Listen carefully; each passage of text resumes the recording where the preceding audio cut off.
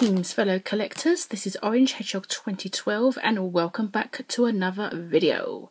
So today I'm going to be doing a plush review which I haven't done in quite a while and it's Sonic related. Hey, so if you were waiting for a Sonic review, plush or non-plush related, then yeah, this is your lucky day because today I'm going to be doing a Sonic related plush review.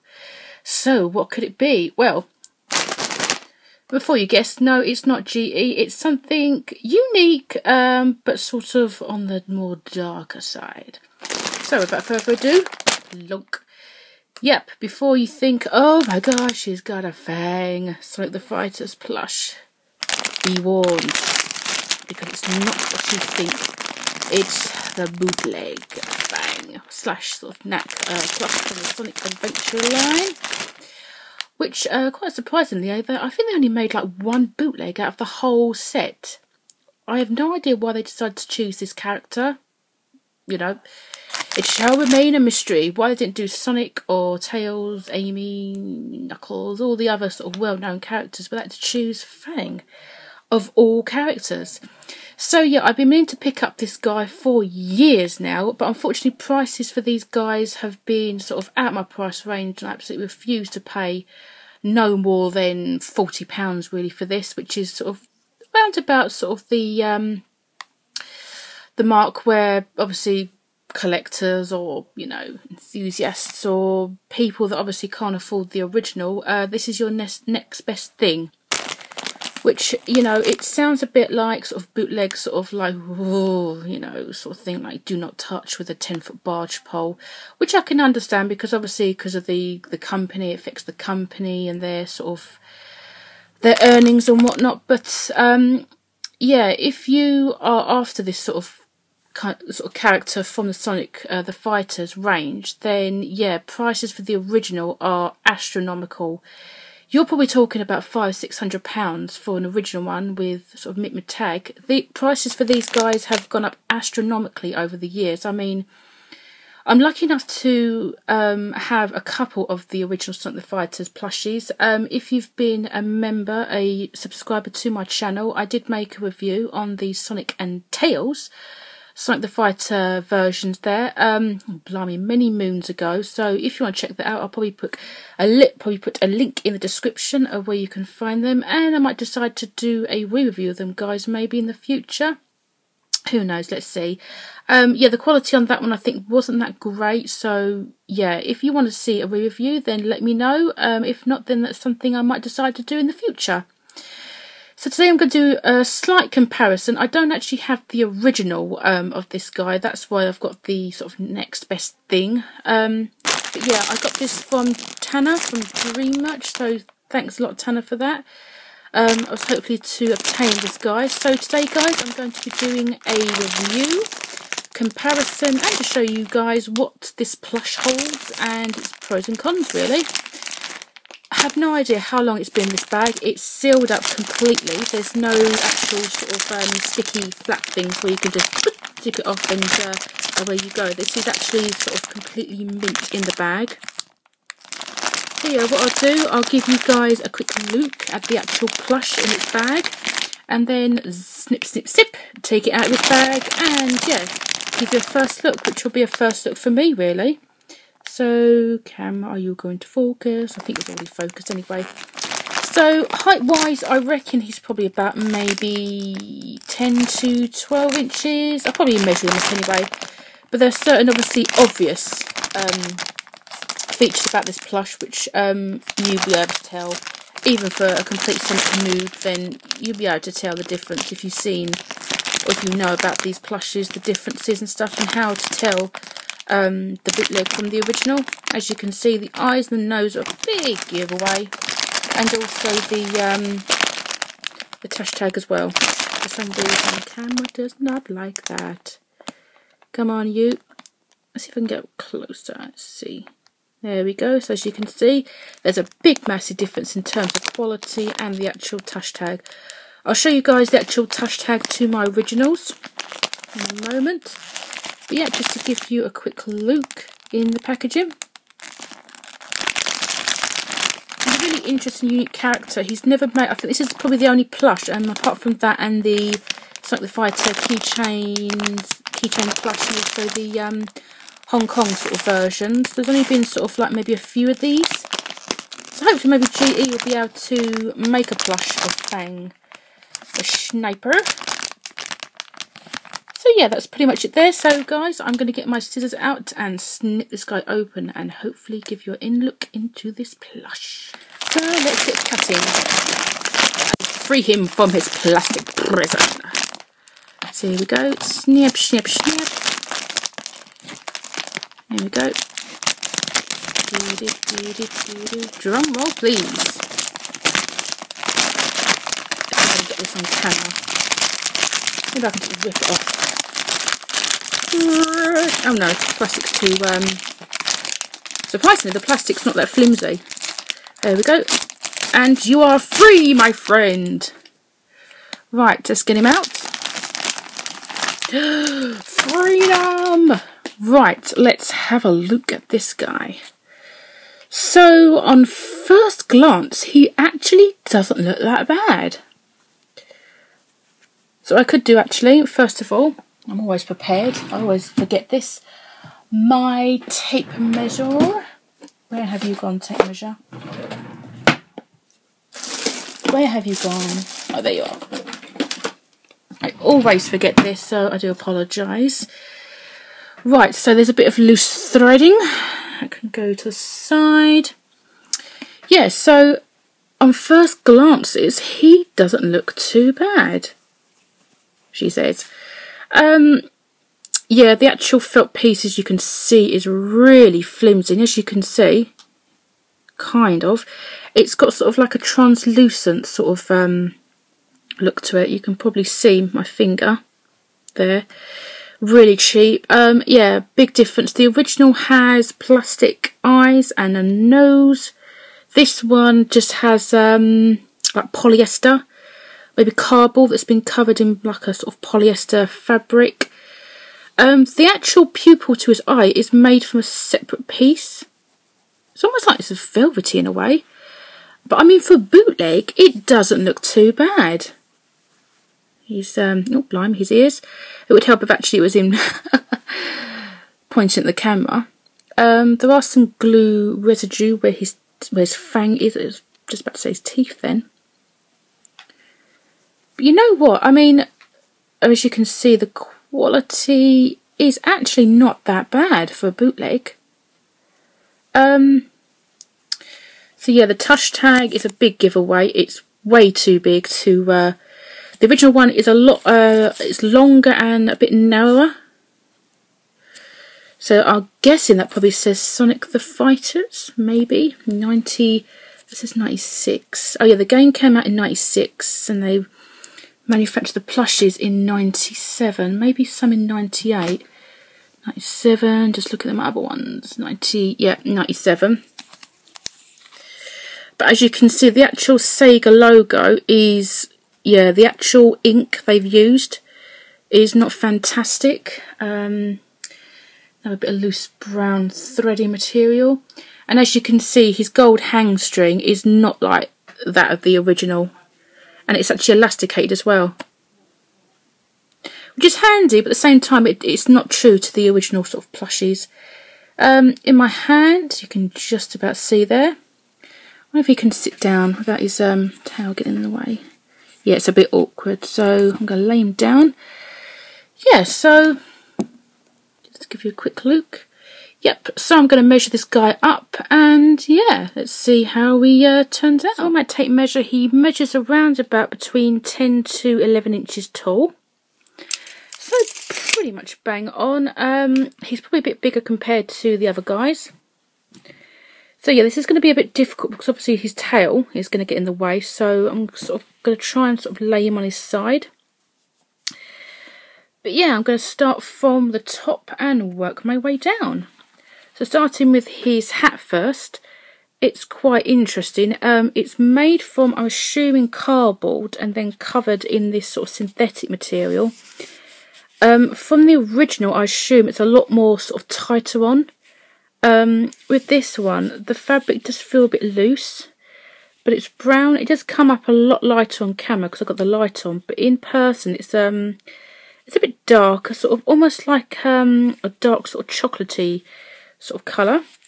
And the black is essentially the same material as the brown, except it's black and it's wrapped around, and I assume it's uh yeah it's glued on. It's just been essentially wrapped around the hat and then obviously cut uh, to the length and then sort of stuck in really. Um, as for the original, I don't know if it's been sewn or glued on, but with this one, it looks like it's been glued on. Now, as for his sort of, um, his, I don't know if you call it his snout really, um, his sort of muzzle area, I'll probably start actually with his eyes. I mean, from the actual fabric they've used, it's actually not that bad. I mean, on camera it's coming up a bit a little bit lighter, but it's almost sort of like um, a lavender sort of colour, purple. Um, his eyes, as you can see there, it's made from like um, synthetic, almost like felt material. As you can see, it gives us sort of like this sparkly effect. It, it does remind me very much of felt. Um, very similar to, kind of similar to his sort of whiskers. Camera doesn't look like that. Far too bright. There we go. Now for the stitching uh, to his mouth, it's made from black as you can see and it's sort of quite thin. You can see his fang there and it's essentially made from the same material as the sections to his eyes except it's obviously been cut into sort of like a teeth shape and stuck on, but you can see there's actually residue sort of dried on glue there. It does look a bit weird though, it doesn't actually look like he's got like a fang, it's just something that's just been stuck on there. Um, now as for his eyes, um, it's essentially, I assume it's made from, it's cut uh, from cardboard and then covered in this sort of synthetic, almost like um, nylon sort of material and the actual white section's pupil is made from a separate piece. You can just about see from the side there. There we go. Um, his nose is made from like um, it's blue. Okay, will behave. There we go. Oh, no, out of focus. In focus. Come on. We go back a bit further. It might. Um, there we go. Kind of. You can just about see there, it's uh, made from the same sort of polyester sort of material. If I can try and, I might be able to sort of prop him up a bit. There we go, without him toppling over. There we go, that's better. The old uh, autofocus does need a kick, up the boot sometimes. As you can see, it's coming up a lot dark on camera, but it's a bit lighter in person, but as you can see, it's not made from plastic, same with his eyes. That's a big giveaway to tell the difference between these. So if you've got one of these and it's got sort of like um polyester sort of fabric to his nose, then yeah, he's um definitely a bootleg. Whiskers again, I'm going to be very gentle because I know this is going to topple over. It's made from sort of like a felt material and quite cheap at that. As I showed showed you before earlier, and same again for his other side, and it's actually tucked in there, as you can see. Now I'm probably going to lay him. Oh, his ears actually I forgot to mention. Yeah, he's not very good at um, standing up. If I lay him on his side, his ears, nothing really much to say about that. It's just cut into the shape that is required, and there's no stuffing, so it's quite loose and floppy there. As you can see, his whiskers, they're quite thin and flimsy, sort of cheap, really, to be honest. Um, moving down to his body, I sort of hold him. He does have that very sort of natural feel that you get with the original ones. I mean, for instance, like my Sonic here, his arms are very sort of floppy. There's not loads of stuffing in there, so they're quite sort of floppy and sort of noodly, as it were. But yeah, I'll show you guys in a moment the, the differences. Um, but yeah, moving down to his stomach, he's actually quite a nice proportioned plush, I must admit. The fabric, uh, the body that he's made from, I've just noticed a little bit of threading material. Yeah, I'm finding there's a bit of loose threading material sort of here and there. But as for his um, his belt, his belt buckle, it's made from felt and it it does feel um obviously not as not as thin as his whiskers, but it's still like sort of cheap really, to be honest. Um yeah, it's not stitched as I thought. I thought it looked on camera, it looked like it was stitched, but it's not. It's just glued down. Um, but yeah, brown for his um his belt buckle. Oh, sorry, the belt and belt buckle, obviously yellow. Now they've actually stitched the actual pouch for where his gun would be, or his pistol. They've used sort of brown um, stitching material, as you can see. His actual gun, I don't know if it actually comes out don't think it should. No, I'm not going to pull it. But as you can see, it's very floppy. The actual gun is made with black and brown. That's just been cut and sort of, um, assume, stuck in, then sort of stuck into the actual pouch bit. Moving to his arms and his gloves, which help if the camera was in focus. They've done a really good job, actually, um, sort of um, sort of reproducing the um, the same sort of look and feel to the original. Arms are very floppy. His gloves are actually quite nice. Um, he's got four fingers, including his thumb. His glove, the actual um, cuff is, um, you can sort of get your fingers in there. And obviously um, for his, now I don't know exactly what this is, like a sort of metal plate or something. But as you can see, the actual markings on there, I don't know what they've actually done. They It looks like they've used sort of like um, just a pen to mark out. I don't know if the original one has like felt pieces or whether it's printed on. Entirely sure. But that's his glove design. And you can just about see there, I think there's some stitching design there. So that's his glove and it's basically the same design um, for his right side. Very nice, quite nice indeed. Um, yeah, as I mentioned before, for his gold hang string, now the original ones are very sort of very thin I'll show you my tails one, as you can see. But this one doesn't have like elastic in it. Um, yeah, I think it's finding it difficult to focus on more than one object. But as you can see, very thin the original one is. And things come out of that. Um, yeah, but with the fake one, the bootleg one, it's much thicker. uh, you can just about see that, and it's actually elasticated as well. I don't want to pull that too much in case it, it does damage the actual plush. But that's quite interesting though. You can see the back of his um, his uh, his belt there. And moving to the back of him, his very long sort of tail. Now I don't know if the original one is that long or whether they've um, exaggerated as you can see, I'll just show very quickly, I've just seen a bit of stitching there. You can see there are very visible sort of seam lines. His tail, you can see the seam lines on that. I very much doubt the original has very visible sort of seam lines. Now moving down to his legs, um, his tush tag. I don't think there's any writing actually inside. No, it's plain. Um, but yeah, it's very creased and very folded. Um, there we go. Oh, that's quite handy So as you can see, um, I'll show you the original one. Now, my Sonic one is very faded. Tails is much more visible. So if I lay him sort of flat. So this is the original Sonic the Fighter's um, tush tag.